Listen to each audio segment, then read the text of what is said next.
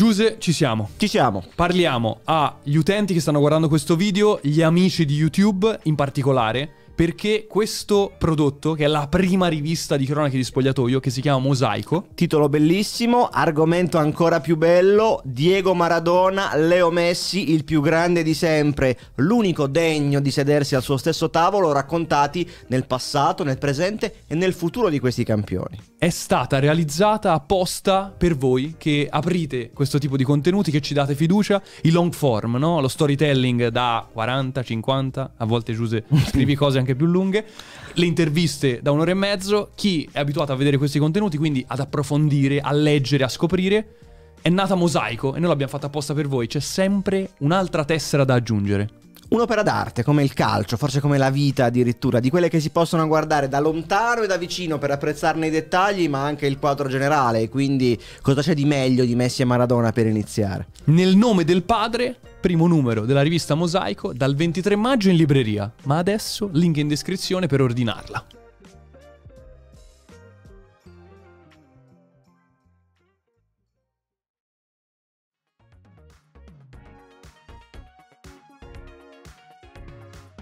La notte di Capodanno la passano tutti insieme, a Cavalese, nello stesso hotel che li ospita durante il ritiro estivo.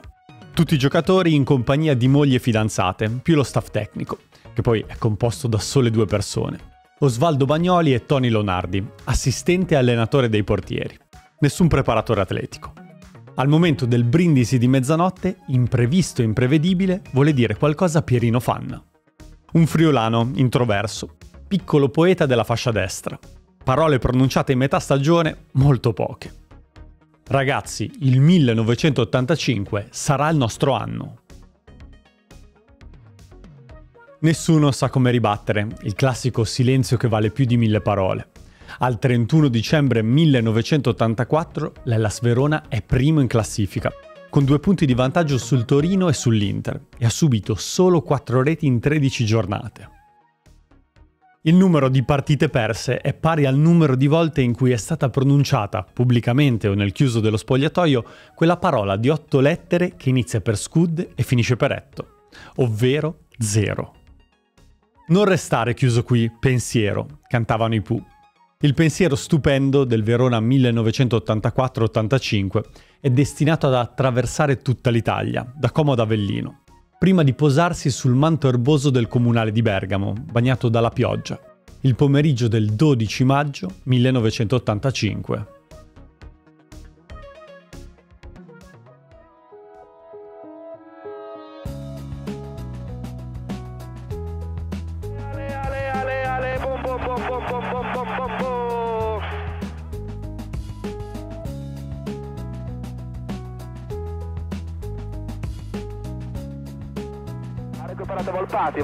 Sul limite, la botta, Calderisi, Elcher, rete!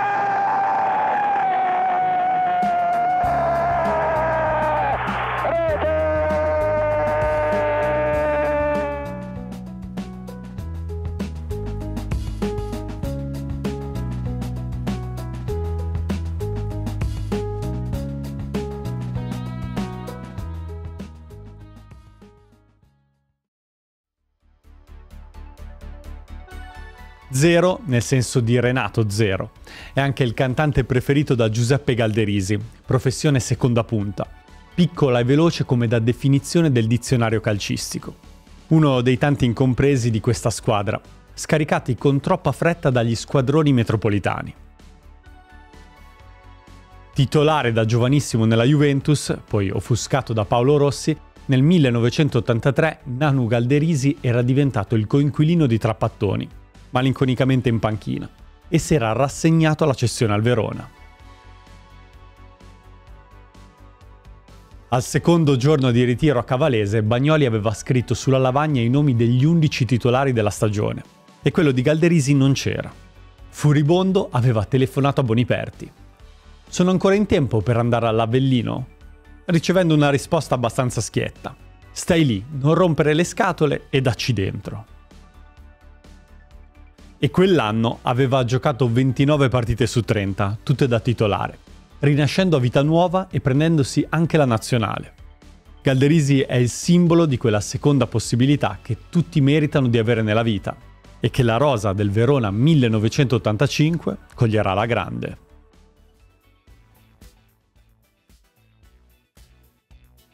Tutto inizia nell'estate del 1982, estate gloriosa per il nostro calcio. Una settimana prima che inizi il Mondiale di Spagna, il Verona torna in Serie A. Lo fa pareggiando 0-0 a Pescara il 6 giugno, con una rosa che già mette insieme i primi tre eroi del 1985. Il portiere Claudio Garella, il libero Roberto Tricella, il regista Antonio Di Gennaro. Tricella è già capitano in pectore, la sua specialità sono le imitazioni. Tutti lo chiamano Jerry perché il suo cavallo di battaglia è Jerry Lewis. Ma nella cena, per festeggiare la promozione, Tricella si esibisce in una splendida imitazione di Bagnoli, rievocando il memorabile intervallo di Verona-Lazio del 23 maggio precedente, con l'Ellas sotto 2-1 prima di rimontare nella ripresa.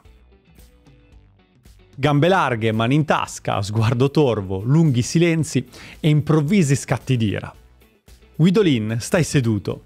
Tricella, stai zitto e finiscila di andare avanti.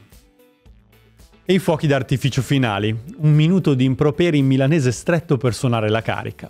Risate, applausi, soprattutto un ritratto affettuoso e fedelissimo dello Svaldo della Bovisa. Scriverà Gianni Mura. Per capire Bagnoli bisogna aver visitato il suo quartiere, la Bovisa, quando era solo prati e fabbriche. Il padre lavorava alla Fargas, ditta di cucina a gas. Lui giocava a pallone, scalzo. Abitava al 104 di via Candiani, vicino alla stazione delle Ferrovie Nord, quelle dei pendolari. Lascia dopo la prima media e passa a una scuola di disegno tecnico, che di fatto era già lavorare. Nel doposcuola faceva le cinture e poi tazze di vate a Cottimo e poi fasce elastiche in un'officina di meccanica. Lavori che insegnano cos'è la fatica e i veri sacrifici. Oggi sembrano parole provenienti da un altro pianeta, ma negli anni Ottanta gli italiani che facevano calcio avevano molto spesso un'estrazione di questo tipo e di conseguenza un'umiltà e un'umanità oggi sconosciuta al 99% della popolazione calcistica. Se n'è accorto anche Domenico Volpati, che ha incontrato Bagnoli dieci anni prima di tutti i suoi compagni, in uno spogliatoio di Solbiate Arno, stagione 73-74, Serie C, la prima esperienza dello Svaldo. È l'intervallo di una partita che la Solbiatese non sta giocando bene. Il presidente, Danilo Carabelli, fa irruzione nello stanzino e ordina all'allenatore di cambiare posizione a un certo Tosetto, un 38enne Bagnoli gli risponde in modo non troppo diplomatico di non impicciarsi nelle questioni tecniche. I giocatori hanno assistito alla scena in un ammirato silenzio, ma il giorno dopo Bagnoli verrà sollevato dall'incarico. Per i vent'anni successivi sarà il suo unico esonero.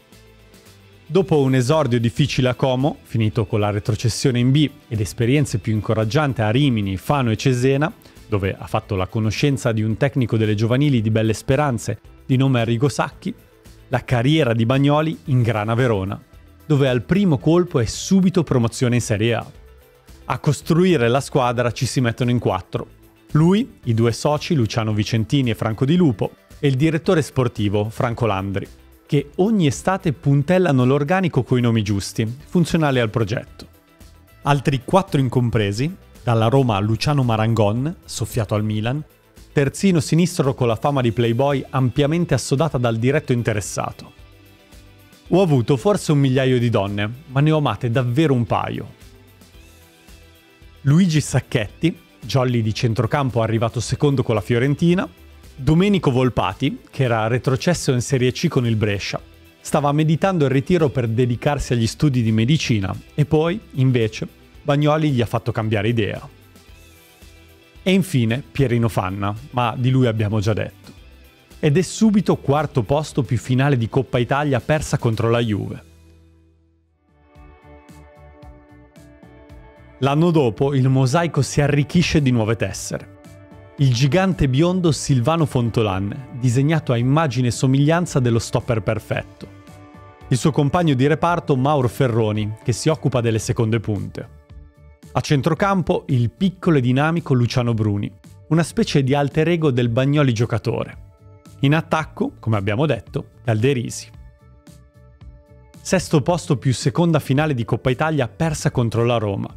L'unico cruccio di questi due anni stupendi è la scelta sbagliata degli stranieri. Il polacco Zmuda è arrivato già rotto. Lo scozzese Joe Jordan in Serie A ha le polveri bagnate.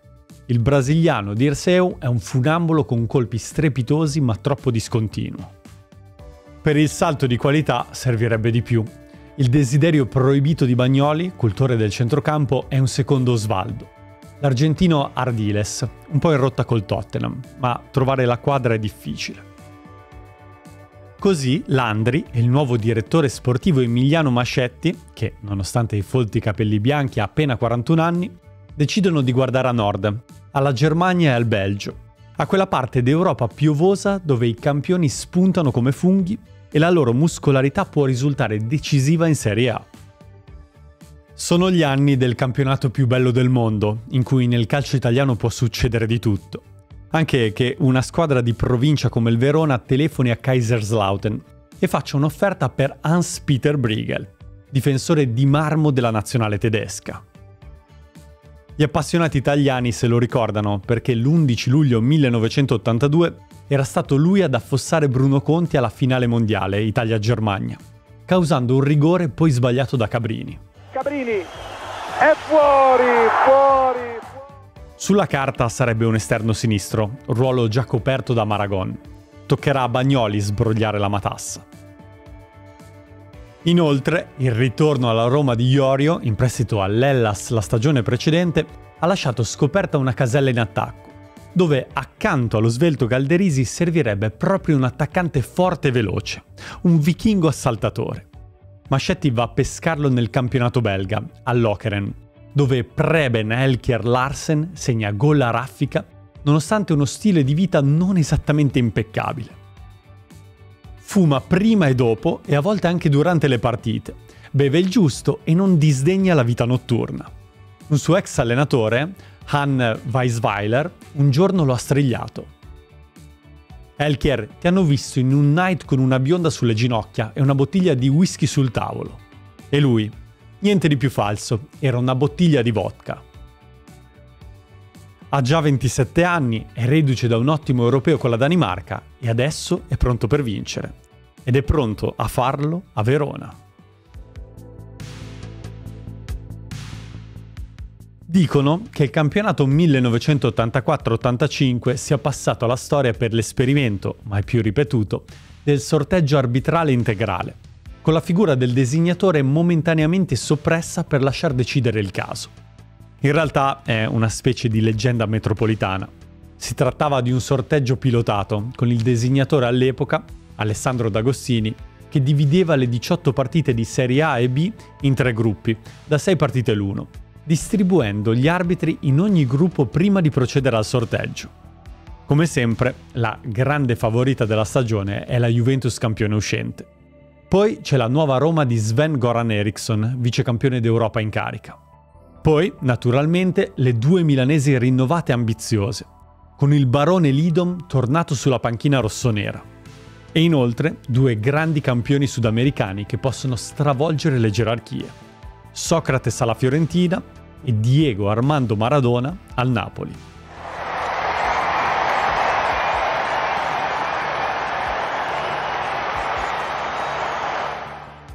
non sembra esserci alcuno spazio di manovra per il Verona, che però il 16 settembre 1984 fa capire che in questa strana stagione, caratterizzata da un vuoto di potere, può succedere di tutto.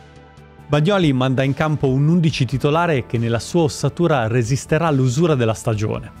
In porta Claudio Garella, il portiere istrionico e irregolare, che ama parare con tutte le parti del corpo. Il libero è Roberto Tricella, originario di Cernusco sul Naviglio, come il più grande libero italiano del momento, Gaetano Scirea. Ai suoi lati Mauro Ferroni, ideale per tenere a bada gli attaccanti veloci, e il Jolly Volpati, che oggi prende il posto dello stopper Silvano Fontolani in panchina. In questa specie di 3-5-2, che nell'idea di Bagnoli è il perfetto compromesso tra il calcio all'italiana e un'aggressiva zona mista, troviamo a sinistra Luciano Maragon e a destra Pierino Fanna, che dei due è quello con i compiti più offensivi. A centrocampo dirige l'orchestra Antonio Di Gennaro, accompagnato dai cingoli del carro armato Brighel, che Bagnoli ha subito piazzato in mezzo, e dal dinamismo di Bruni. Le due punte sono un classico del bagnolismo che ritroveremo anche al Genoa negli anni 90. Il piccoletto Galderisi e lo spilungone Elkier.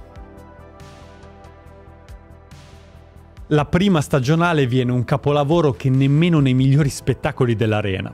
Verona batte Napoli 3-1. Brighel cancella dal campo Maradona e segna anche di testa il primo gol del campionato. Che naturalmente in fase offensiva col pallone profondo. Rete!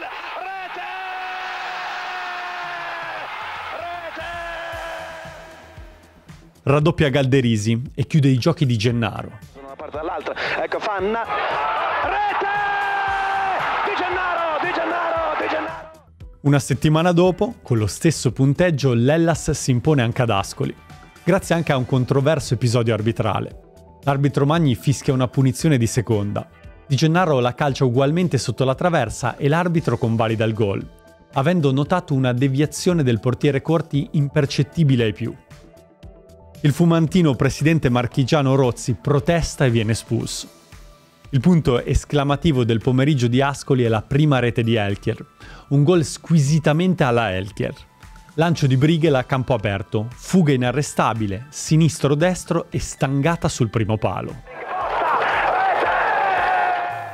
E la sera, alla domenica sportiva, tutti i tifosi del Verona scoprono che la classifica si è già colorata di giallo-blu. Dopo due giornate, l'Ellas è l'unica squadra a punteggio pieno. Eppure, nessuno vuole costruire castelli in aria. Una settimana dopo, per Verona Udinese, Giampiero Galeazzi chiede a Bagnoli a quanti punti per lui è fissata la quota salvezza. Bagnoli coglie la malizia della domanda, ma sta al gioco. Che se andiamo avanti così ci salveremo un po' prima del tempo. Perché? Eh, perché se, se andiamo avanti così facciamo i punti prima. Finisce 1-0, Galderisi su rigore. Ma tanto tutti scommettono che durerà poco. È alle porte un ciclo di quattro partite consecutive contro Inter, Juventus, Fiorentina e Roma. E tutti pensano che il Verona si sgonfierà. Ma il 7 ottobre a San Siro, tra Inter e Verona, finisce 0-0. È il primo dei tanti pomeriggi di gloria di Claudio Garella, che si oppone ai tentativi di Rumenig, Bredi Altobelli, con svariate parti del corpo. Ma è splendido anche il collega Walter Zenga, con una grande doppia parata su Volpati ed Elkier. Un pareggio a quattro mani, come scrive il Corriere della Sera. Da questo momento Bagnoli folgora con lo sguardo chi semplicemente osi pronunciare quella parola di otto lettere. Mette soggezione solo a pronunciarla. Eppure, passa un'altra settimana e al Bentegodi la grande Juventus cade 2-0 senza appello, punita da due ex dai canini avvelenati. Cross di Pierino Fanna e colpo di testa, udite udite, di Nanu Galderisi, con tacconi uscito a funghi al limite dell'area piccola. E poi, al minuto 81, l'apoteosi, quello che tutto il Bentegodi identifica all'istante come il momento fondante del grande sogno. Lanciato in campo aperto, Preben Elkier vince il contrasto con un giovane Stefano Pioli e punta ad ampie falcate l'area juventina. Resiste al disperato intervento di Luciano Favero, che riesce solo a fargli volare lo scarpino destro. Ma lui calcia ugualmente a rete con il piede nudo.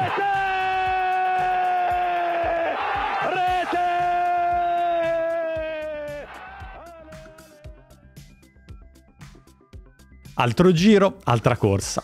La prima gita stagionale a Roma si risolve in un one-man show di Claudio Garella, che a quel tempo è già stato soprannominato Garelic, da Valentino Fioravanti, cronista dell'arena dalla smisurata fantasia. Il tuo nome da oggi in poi sarà Garellic perché penso che una giornata così non l'hai mai vissuta, tutto sommato. Almeno sette parate decisive, una compilation mozzafiato che salva lo 0-0 dagli attacchi furibondi di Pruzzo e compagni e porta all'attenzione del pubblico questo portiere goffo e poco ortodosso, ma tremendamente efficace, che proprio a Roma, sponda Lazio, aveva vissuto gli anni peggiori della sua carriera. Passa un'altra settimana e al Bentegodi cade con tutte le scarpe la Fiorentina, dove Socrates sta dando il peggio di sé, borioso e poco incline al sacrificio. tutto il contrario dei levrieri da corsa dell'Ellas, che chiudono il conto con un primo tempo a 1000 all'ora. La buona stella assiste il Verona nella complicata trasferta di Cremona, dove per una volta lo status di prima della classe impone ai gialloblu di fare la partita, cosa che non sono ancora abituati a fare. Succede tutto nell'ultimo quarto d'ora, quando Galderisi sblocca il risultato su rigore. Garelic ne para un altro a Chiorri e Briegel chiude la partita in contropiede. Briegel, Briegel! 8 giornate su 30, oltre il 25% del campionato, sono già sufficienti per voltarsi alle spalle e scoprire di aver fatto il vuoto. 14 punti, 4 in più delle milanesi, 6 più della Juve, il doppio della Roma, oltre il doppio del Napoli di Maradona in zona retrocessione. Sembra uno scherzo, un copione da film, proprio nelle settimane in cui al cinema tutta l'Italia ride con l'allenatore nel pallone, in cui Lino Banfi, o Ronzo Canà, prende in giro presidenti, allenatori e calciatori di tutta la Serie A. Il 18 novembre, per la prima volta, il Verona non vince in casa. Fa la conoscenza dell'altra grande provinciale terribile di questi anni, la rampante Sampdoria di Vialli, ma non di Mancini, che quel giorno è infortunato. È il giorno in cui Bagnoli scopre che il Verona ha 11 grandi giocatori, ma deve camminare sulle uova, sperando che non se ne rompa mai nessuna. Basta un infortunio di Gennaro e un acciacco a Elkier, tornato indolenzito dalla partita della nazionale, per non andare oltre lo 0-0. E quando il Danesone marca visita la settimana dopo al comunale contro il Toro, i giornali intonano giù la marcia funebre. Il Verona a Torino può perdere la testa, titola, o forse auspica, il Corriere della Sera. E invece ne viene fuori una partita splendida, santificata dall'avvocato Agnelli che è voluto rimanere apposta a Torino invece che volare a Udine per seguire la Juventus. La più bella partita che ho visto quest'anno. Certo. Io dico che la Juventus e i Juventini si devono anche abituare a perdere qualche volta. Il Torino è secondo in classifica, sembra galvanizzato dal ritorno in panchina di Gigi Radice, l'uomo dell'ultimo scudetto del 76. A menare le danze c'è un brasiliano geniale, Leo Junior, che colpisce il palo su punizione. Se avete già perso il conto dei legni colpiti dagli avversari del Verona in questa stagione, sappiate che ne arriveranno molti altri. Invece l'Ellas è precisissimo. Passa in vantaggio con una sassata di Briegel da fuori area. Subisce il pareggio da Beppe Dossena. Poi passa nella ripresa con un magnifico contropiede orchestrato da Galderisi e concluso da Marangon. Il presidente Chiampan, seduto in tribuna accanto ad Agnelli, gli indica orgoglioso i suoi gioielli. Brighe e Tricella, sogni proibiti per gli squadroni del nord. E poi è ancora Dea Bendata. Palo interno di Sclosa Garella battuto. Clamoroso gol divorato dall'austriaco Schnacka e finisce 2-1. E adesso i giornalisti chiedono a Bagnoli se ha intenzione di iniziare a pronunciare quella parola. Prematuro, a primavera vedremo. Anzi, sembra più ombroso del solito. Vi dico solo che per vincere lo scudetto non basta la squadra, ci vogliono altre cose. A cosa mi riferisco? La partita l'avete vista tutti. Nel mirino c'è l'arbitro Bergamo, accusato di atteggiamento casalingo anche dai giocatori. Quelli picchiavano come maledetti, si lamenta Galderisi, ma l'arbitro ha ammonito solo me. Nella Serie A degli anni Ottanta ogni domenica c'è una partitissima. Via il Torino, tocca al Milan, che strappa lo 0-0 al Bentegodi sotto il diluvio. A Garella non fa gol nemmeno con le cannonate. Se ne accorge anche la Lazio, la sua odiata Lazio, con 70.000 tifosi che lo fischiano. Una Lazio piuttosto male in arnese, battuta il 16 dicembre a domicilio dall'unico Verona tutto italiano della stagione, senza Briegel né Elkier, eppure capace di passare 1-0 all'Olimpico con un tiraccio di Galderisi deviato in rete dal difensore Podavini. A fine partita, Capitan Tricella si avvicina ai giornalisti e con i suoi modi educati, con il suo tono di voce sottile, una cosa ci tiene a dirla. Ci state preparando il funerale da due mesi, ma dovete rimandarlo tutte le volte. Senza nemmeno Ferroni, infortunato al menisco, a due giorni da Natale il Verona ottiene a Como un altro clean sheet. Lo 0-0 si spiega anche con un nuovo malanno di Elkier, che fa spesso la spola tra Italia e Danimarca per curarsi, e al Verona la cosa non fa molto piacere. Ma il Verona finisce ugualmente il 1984 solo, in testa alla classifica, perché questa Serie A è come una gara di ciclismo molto tattica, in cui nessuno dei big si decide a scattare per andare a riprendere l'outsider in fuga imprevista. Così l'equilibrio resiste anche all'inizio del 1985, quando il Verona frena in casa contro l'Atalanta, 1-1, nonostante il primo gol stagionale di Luciano Bruni, pareggiato nel finale da Pacione a causa di un mezzo errore di Garella. Nelle prime due settimane dell'anno nuovo l'Italia conosce un'ondata di freddo senza precedenti, con metri di neve che si abbattono su tutta la penisola. A Milano il ghiaccio fa crollare il soffitto del nuovissimo Palasport, inaugurato da meno di dieci anni. Ma il gelo arriva anche al sud, per esempio ad Avellino, dove dopo tre giorni e tre notti di neve sembra impossibile giocare a calcio. Invece, il Partegno impone la sua spietata legge, anche in versione imbiancata, con i tifosi irpini che si prodigano a spalare il terreno di gioco e il Verona che perde per la prima volta proprio all'imbrunire del girone d'andata. La sconfitta è meritata perché l'Avellino gioca una gran partita, impreziosita dalla perla da fuori area di Angelino Colombo, generoso mediano che farà fortuna con il Milan di Sacchi e che, nell'esagerazione giornalistica dell'inviato della domenica sportiva, addirittura diventa il Rumenig della Brianza. È il momento più delicato della stagione dell'Ellas, quando le certezze iniziano a vacillare. L'Inter rosicchia un punto, il 20 gennaio, prima di ritorno, perfeziona l'aggancio battendo 1-0 l'Atalanta, mentre il Verona rende visita a Maradona. Napoli-Verona 0-0 vive sul duello tra giganti Maradona-Brigel, molto più equilibrato che all'andata, e su un nuovo episodio dello show itinerante di Garelic, superlativo sulla punizione di Diego e miracoloso su un tiro di dal fiume.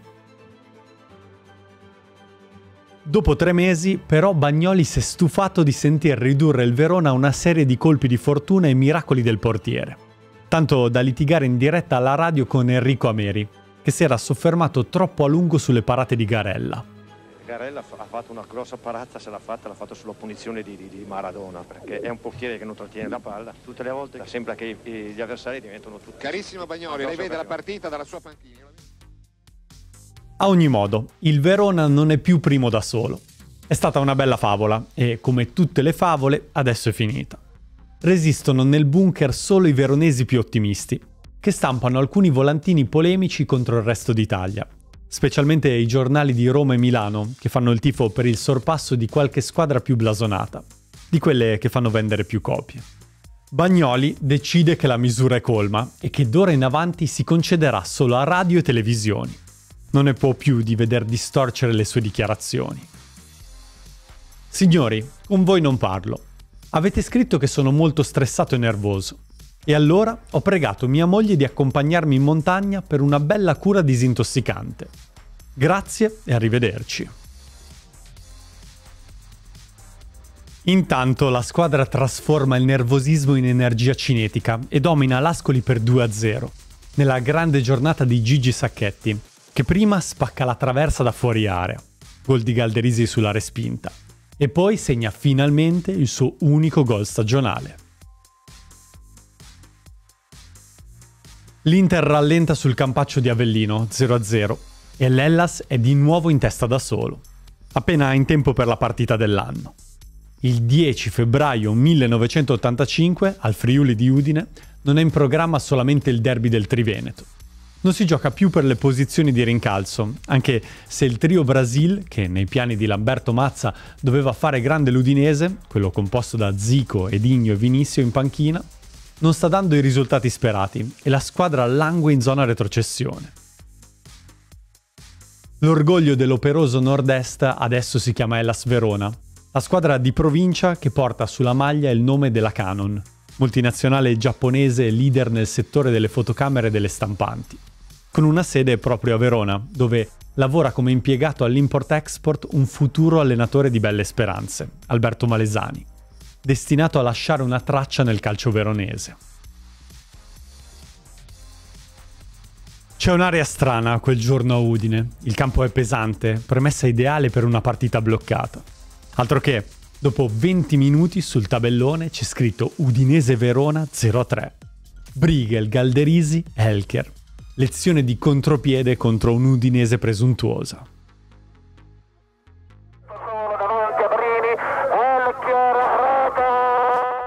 Ma quel giorno la razionalità decide di prendersi una domenica libera, perché tra il quarantesimo e il sessantesimo l'Udinese ne segna altrettanti. Ma la sequenza dei gol è più veloce delle biro dei giornalisti. Massimo Mauro non ha ancora finito di gustarsi il bagno di folla per il 3-3, che Elker sorprende la sgangherata difesa friulana e inchioda Brini, per la quarta volta, seguito a stretto giro di posta da Briegel, sempre loro due, che fissa il risultato su un indimenticabile 3-5.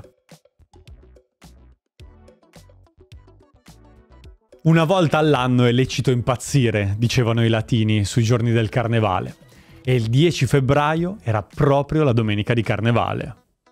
Evidentemente la sbornia del trionfo è difficile da smaltire, visto che una settimana dopo metà squadra viene messa a KO dall'influenza tra il mercoledì e la domenica.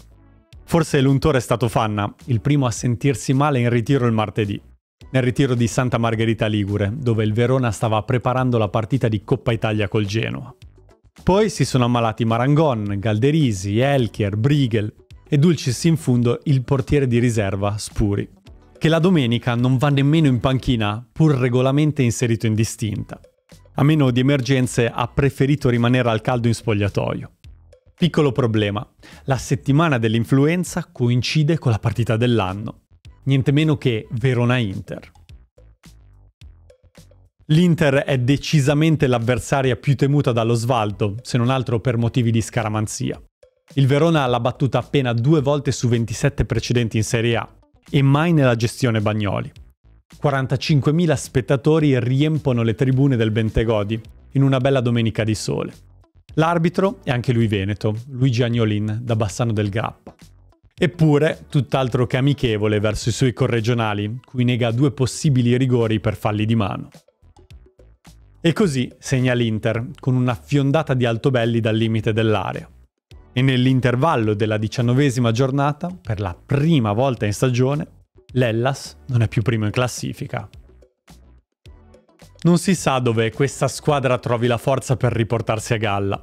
Forse nei litri di tè caldo mandati giù negli spogliatoi dai tanti giocatori infreddoliti, acciaccati, tossicchianti. E proprio uno di loro, Briegel, il più tosto di tutti, corregge di testa in rete la sponda di Di Gennaro e riacciuffa il pareggio.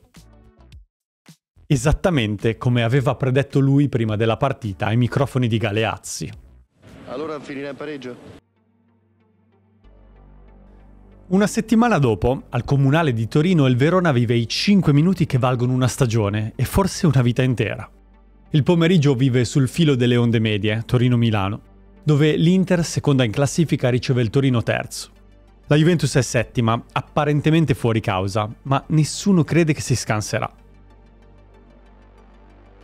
E di fatti va in scena l'ennesimo episodio del Garella Show. Mani, piedi, stinchi e cosce sotto lo sguardo livido di Boniperti che, come sempre, lasciando lo stadio all'intervallo, fa in tempo a dire che Verona è una squadra molto simpatica, una squadra che fa, che fa molto, molto, gioco, molto gioco. Con il tono risentito di chi proprio non se l'aspettava che la stagione prendesse questa piega.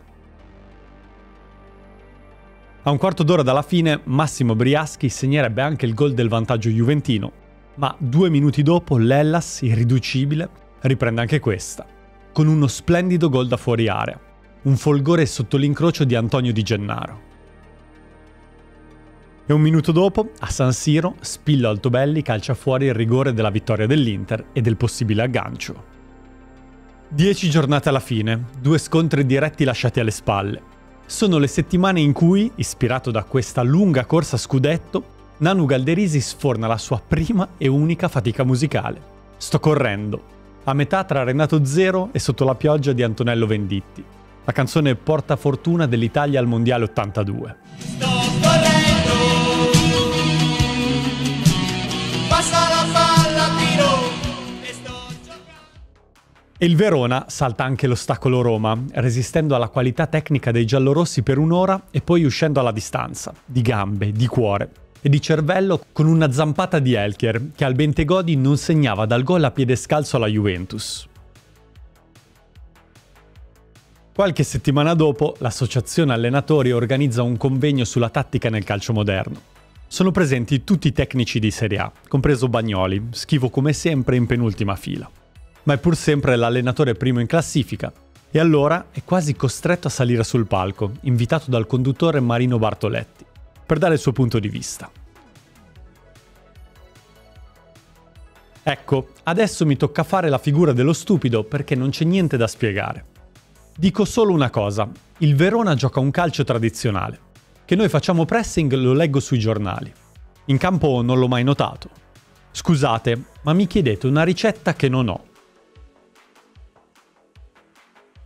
In realtà non è proprio così, anzi non è affatto così. Bagnoli gioca al gioco di tutti gli allenatori modesti, privarsi di ogni merito per tenere al centro del palco i giocatori. Ma il Verona gioca un calcio moderno e veloce, scandito dalla regia di Di Gennaro e dai movimenti senza palla di Fanna, che libera lo spazio per le avanzate di Tricella, che detta i tempi delle fulminanti ripartenze di Elchier e Galderisi. Il mistero Verona, un mix di allegria e serietà, applicazione e un pizzico di fortuna, resiste beffardo anche a Firenze, dove Di Gennaro torna profeta in patria con la fascia da capitano al braccio in uno dei rari pomeriggi ispirati dell'annata di Socrates. Il copione è quello di sempre lontano dal Bentegodi. Difesa, sofferenza, i balzi di Garella contro ogni legge fisica.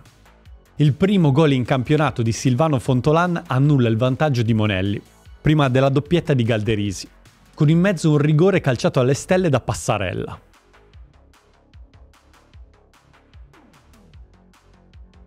Il catalogo è questo. Opportunismo, le capacità di sfruttare le occasioni, il regolare allineamento dei pianeti.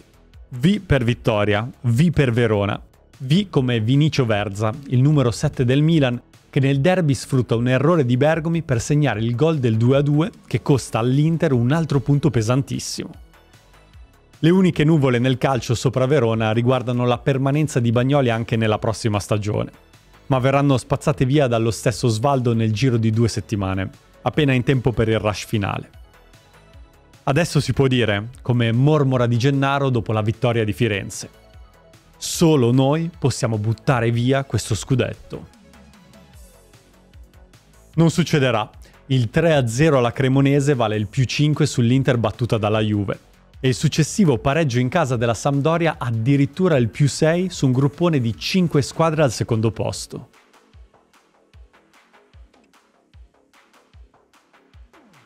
Poi il Verona paga i suoi debiti con la buona sorte tutti insieme, in un'unica soluzione, il 14 aprile in casa contro il Torino. Calderisi sbaglia un rigore al quinto minuto, la prima di tante occasioni per sbloccare il risultato. E invece il primo a segnare è Aldo Serena, con una magnifica rovesciata applaudita anche da Garella. Dulcis in fundo, Galderisi timbra un palo a tempo scaduto. Si rifanno sotto Juventus, Sampdoria, Torino e Inter, tutte a quattro punti, tutte appollaiate sul trespolo in vista dell'ultimo iceberg che potrebbe affondare l'Ellas. Milan-Verona, 14 aprile 1985. A San Siro il Verona non ha mai vinto e mai vincerà. Nel momento in cui pronunciamo queste parole, l'Ellas ha un bilancio di 0 vittorie, 24 pareggi e 38 sconfitte alla scala del calcio. Ma ci sono pareggi che valgono doppio, forse triplo, come lo 0-0 santificato già al terzo minuto da Claudio Garella, che sembra scavalcato dal colpo di testa di Hitley, ma con uno scatto di Reni riesce a sfiorare la palla, farla carambolare sul palo e poi ritrovarsela tra le braccia. È l'ultimo tornante che mancava, per ammissione dello stesso Garella. Se il Verona si fosse ritrovato sotto di un gol, chissà come sarebbe andata a finire. Senza Brighel e Fontolan, i due più forti di testa della squadra, il Verona soffre terribilmente i centimetri di Attila Hitley. tanto che Garella è costretto ad abbandonare i pali molto più del solito per dare una mano alla contraerea. Ma lo 0-0 tiene fino al novantesimo e allora ci siamo davvero. Anche se, dice Bagnoli, citando un famoso modo di dire di Maurizio Costanzo, non si sa mai cosa c'è dietro l'angolo. Uh, come diceva che Maurizio Costanzo, non si sa mai cosa c'è dietro l'angolo, perciò bisogna, fino alla fine bisogna stare sempre con le orecchie ben. Dietro l'angolo c'è il primo sospiratissimo gol di Pierino Fan, invisibile ai tifosi italiani nella domenica dello sciopero di radio, giornali e televisioni. Lo vedono solo al Bentegodi, Verona 1, Lazio 0. 4 punti di vantaggio sul Torino a 3 giornate dalla fine. Il tricolore potrebbe arrivare già la settimana dopo, ma il Verona si mette una mano sul cuore. Si ricorda della sua natura di provinciale e accetta la misericordiosa divisione della posta in palio con il Como, bisognoso del punticino. Tanto c'è solo da aspettare una settimana in più e l'attesa rende più dolce il sapore della vittoria poco oltre il lago di Garda, nella trasferta più comoda del campionato che si trasforma in gita. 200 pullman e 2000 macchine di veronesi in trasferta a Bergamo, molti dei quali con bottiglie d'Amarone e Valpolicella per allietare il viaggio. A Verona è una domenica elettorale. Verrà rieletto il sindaco in carica Gabriele Sboarina, ma i seggi rimangono vuoti dalle 16 alle 18, quando c'è solo l'Ellas. In piazza Bra tutti intorno all'arena, 5.000 persone ascoltano sotto la pioggia la radiocronaca di Roberto Puliero, di Radio Adige, ed esplodono alle 17.06, al momento del pareggio di Elker. Calderisi, Elker,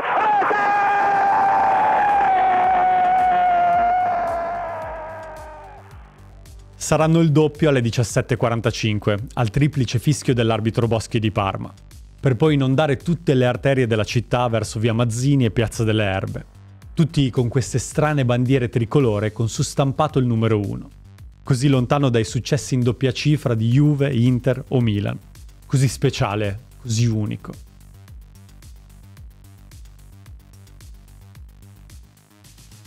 Non succederà più. Quello dell'Ellas Verona 84-85 è l'ultimo scudetto provinciale nel senso letterale del termine vinto in una città che non è capoluogo di regione. Negli anni 90 ci proverà lungo il Parma, ma invano. Sui titoli di coda scorre l'incredibile compostezza di Bagnoli, che 30 secondi prima del fischio viene abbracciato da Galderisi, che gli chiede all'orecchio se ora se la sente di dire quella famosa parola. Osvaldo non ha il coraggio di rispondere fino al triplice fischio. A novantesimo minuto Paolo Valenti elogia. L'umanità di questo scudetto di una squadra che è sempre rimasta modesta in ogni momento della sua annata. Nel momento della gioia anche Verona prova a scatenarsi, a diventare un po' sfrenata e godereccia, ad abbandonarsi al baccanale. In fondo è una città ricca, benestante, che sa godersi la vita. Città d'arte, di grande musica, di comici come i gatti di Vicolo Miracoli, capitanati da Jerry Calà. Ma c'è poco da fare. La faccia dell'Ellas, campione d'Italia, rimarrà sempre quella del suo allenatore. Ombroso fino al parossismo, tanto da guadagnarsi il soprannome di Schopenhauer da uno dei suoi maggiori estimatori, Gianni Brera. E ci pare giusto concludere con le parole che lo stesso Svaldo Bagnoli consegna al Corriere della Sera la sera del giorno più bello della sua carriera. Favola o realtà? Me lo sto chiedendo anch'io, mentre sto vivendo un momento eccezionale e mi sento felice, seppur prigioniero di qualcosa che supera ogni immaginazione, qualcosa di veramente ed esageratamente, almeno per il mio carattere, favoloso.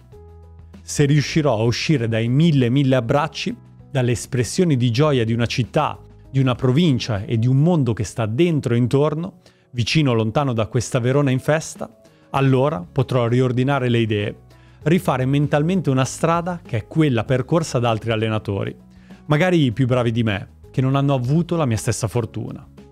Io so per esperienza che quando andrà meno bene, i tifosi che oggi esultano saranno pronti a contestarci.